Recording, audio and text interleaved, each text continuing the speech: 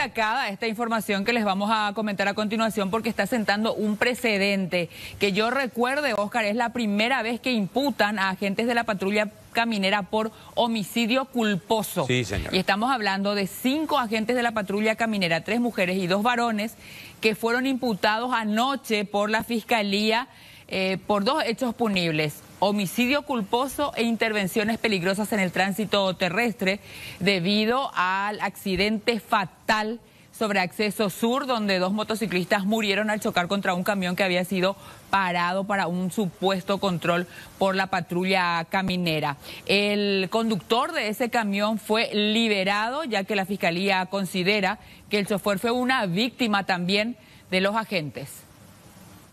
Los inspectores que se vieron involucrados en el caso junto con el conductor del camión prestaron declaración ante la fiscalía y tras eso nuevamente cada uno fue remitido a las dependencias policiales donde están en carácter de detenidos. La fiscal Gladys Paredes mencionó que por parte de los agentes alegaron que poseen un pendrive con un video en el que se puede ver al camión cruzar la luz roja, razón por la cual lo detuvieron. Sin embargo, aún no se entregaron estas imágenes y en cuanto al conductor, solo mencionó que sintió el impacto de las víctimas fatales. Otro punto importante, la agente fiscal afirmó que sí ingresó una orden de trabajo de los patrulleros, donde se informaba de que estarían haciendo barreras y controles, lo que hace que sea legal. No obstante, también afirmó que no se realizó con los elementos correspondientes. La situación del chofer del camión, doctora, y voy a estudiar la situación de él. Él es el que se queda, un, la parte de la cabeza de su camión dentro de la banquina y la otra parte del cuerpo de su camión queda sobre la ruta.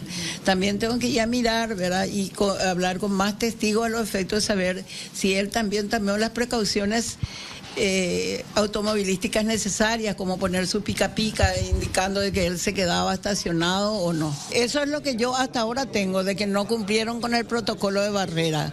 Por eso es que quiero constituirme en el lugar a ver si efectivamente ellos al quedarse se quedaron en un lugar así como ellos, como estaba en el mandato de sus de sus superiores, ¿verdad?